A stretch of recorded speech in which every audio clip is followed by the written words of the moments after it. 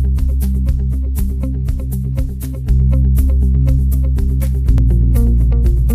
So we're seeing really strong rental conditions. We're seeing ongoing low levels of supply and strong demand for rental properties. And that's pushing rents up across most parts of the country. Even in the areas like Sydney and Melbourne, where we have previously seen significant weakening of rents, the last quarter or so, we've started to see some rental growth returning to those markets. And that's probably going to be exacerbated as more and more people from overseas start to move back into Australia. So, in some ways, uh, the major capital cities, we're expecting rents to increase uh, on the back of migration coming back to Australia.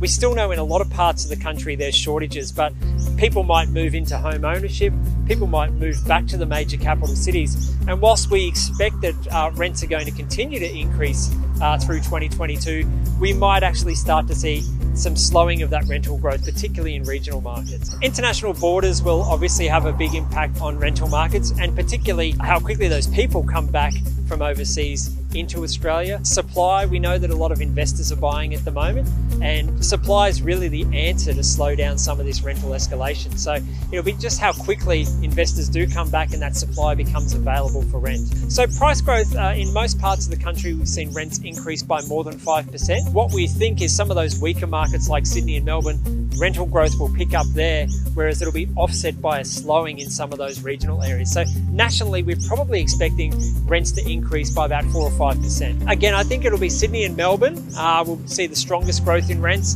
And then places like Hobart, where you've got this really tight rental market that's been evident for a number of years, is going to continue to push up rental prices. I think some of the regional markets are the areas where we'll see struggle, and they've been really the standout performers over the last couple of years.